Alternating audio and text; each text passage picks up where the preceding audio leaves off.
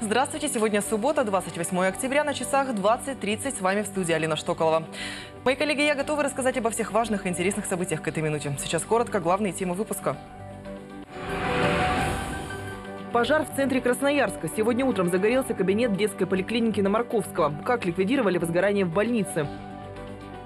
300 борцов со всего мира собрались в Красноярске на международный юношеский турнир на призы Бувайсара Сайтива. Как прошел первый день? Питомцам Роева ручья, белым мишкам Авроре и Феликсу обустраивают новую трехкомнатную берлогу. Почему им необходимо расширение жилплощади? Пожар в одной из детских поликлиник Красноярска произошел на улице Марковского. Пациентов, к счастью, в здании в этот момент не было. На работе находились дежурный врач, медсестра и сторож. Когда сработала пожарная сигнализация, сторож оперативно осмотрел все помещения. Коридор был сильно задымлен. Спасатели прибыли уже через несколько минут после сигнала, а через 20 минут пожар ликвидировали. В тушении участвовали 24 человека и 7 единиц техники. По словам работников МЧС, причиной стало короткое замыкание проводки холодильника в лаборатории поликлиники. Сейчас в происшествии разбирается дознаватель.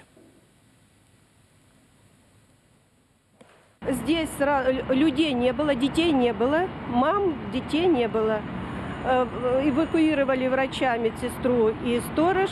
В понедельник вы откроете? Не знаю, сейчас посмотрим. Скорее всего, лаборатория не будет открыта. Ну а детей вы будете принимать? Я думаю, что будем. Города и районы края помогут с подготовкой Красноярской универсиады. Какой вклад могут внести муниципалитеты, обсудили на выездном совещании депутаты Законодательного собрания, главы Железногорска, Сосновоборска, Березовского, Емельяновского, Манского и других районов. Они осмотрели спортивные объекты, которые строятся к студенческим играм, в том числе тренировочный комплекс Академии зимних видов спорта. Как рассказали представители Дивногорска и Сухобузинского района, их территории могут предложить гостям универсиады интересные экскурсии. Другие районы готовы предоставить волонтеров волонтеров и творческие коллективы для организации культурной программы.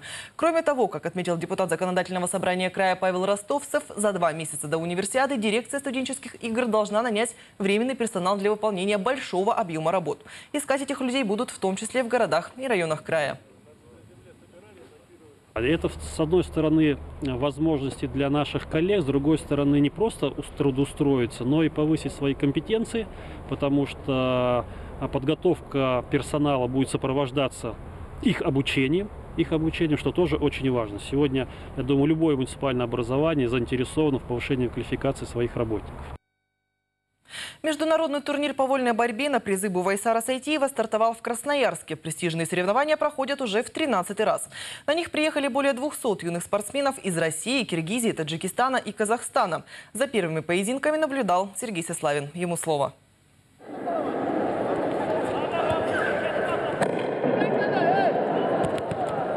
На ковре меряются силой и мастерством будущие чемпионы. Пока это еще совсем мальчишки, участникам всего по 13-15 лет. Но судьи и тренеры уверены, именно на этих состязаниях, организованных Бовайсаром Сайтиевым, закаляются характеры. Цели и задачи другие, потому что старший возраст уже идет, э, от, как на Ирыгинском, например, отбор в сборную команду страны, отбор на чемпионат Европы. А здесь у нас идет подготовка резерва, просмотр резерва.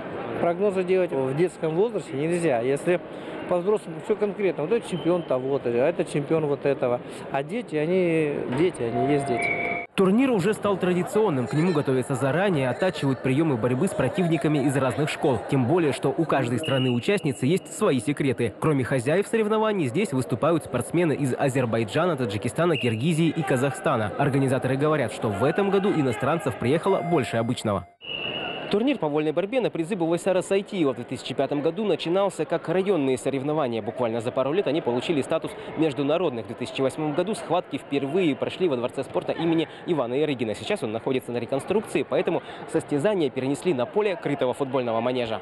Несмотря на это, независимые наблюдатели отмечают высокий уровень организации турнира. Зал, уровень подготовки участников, квалификация судей – все соответствует соревнованиям мирового уровня. Конец календарного года да, где основные все-таки спортсмены наборолись и на чемпионатах Европы, и на чемпионатах мира, да, а это уже подведение итогов года. И практически здесь возможность побороться тем спортсменам, которые в течение года не, побо, не, по, не почувствовали вот именно международного опыта, не набрались, да, ну, а все-таки для более такого, для базы именно как взрослой борьбы, юниорской, в которого ну, потом окунуться. Это как раз вот турнир такой, чтобы ребята могли почувствовать вот это, окунуться в международный стиль. Международный турнир по вольной борьбе продлится два дня. Завтра поединки начнутся в 11 утра. Поболеть за спортсменов могут все желающие. Вход на стадион бесплатный. Сергей Сеславин, Алексей Овсянников. Новости. Открыть турнир решили очень необычно. Главным украшением церемонии стал танцевальный батл между ансамблем «Танцы Сибири» и коллективом «Войнах» из Чечни. Подобное представление в Красноярске зрители увидели впервые. И мы предлагаем вам посмотреть один из самых зрелищных моментов. Профессиональная импровизация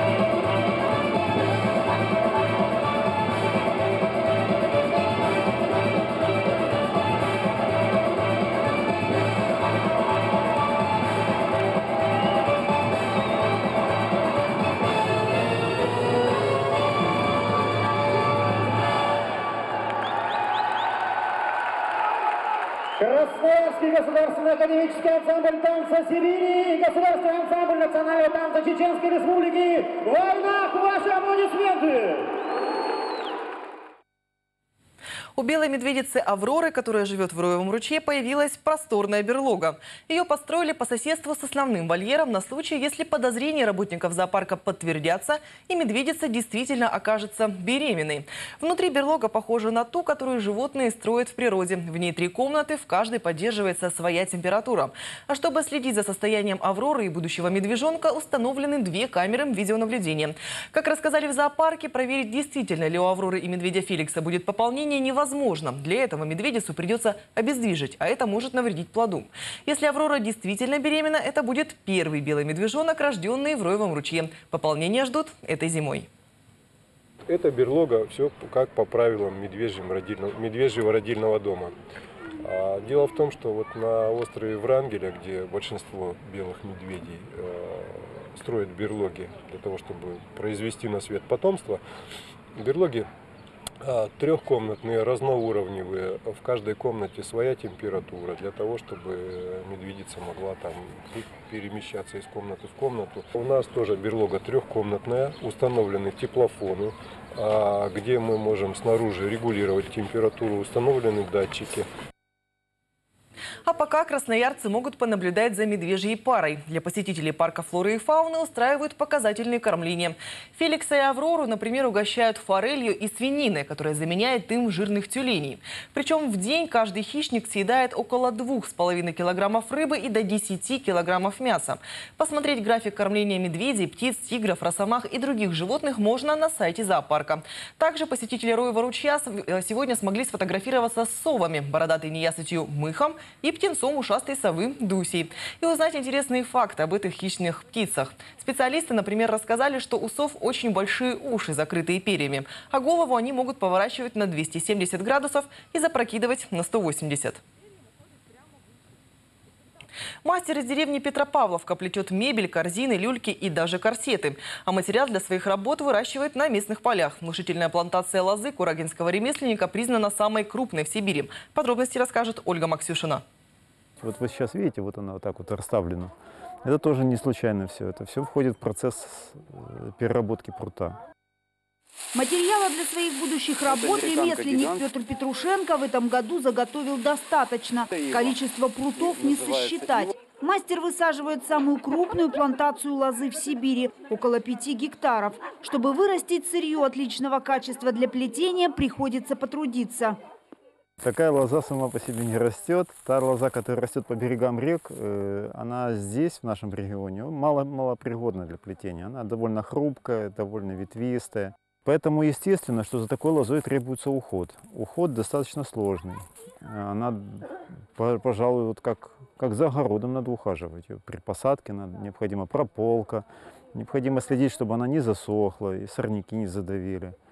Посадочный материал мастер завозил из Европы, Прибалтики и Украины. Сейчас культивируют три сорта. Те, что отлично себя чувствуют в таежной местности. После сбора урожая приходится всей семьей обрабатывать сырье. Даже привлекают дополнительные рабочие руки. Мы сортируем лозу, подготавливаем ее к варке. Сортируем на размеры, чтобы удобно было варить. Например, вот очень длинные, вот, по 2,5 метра и маленькие. Сортируем на несколько размеров.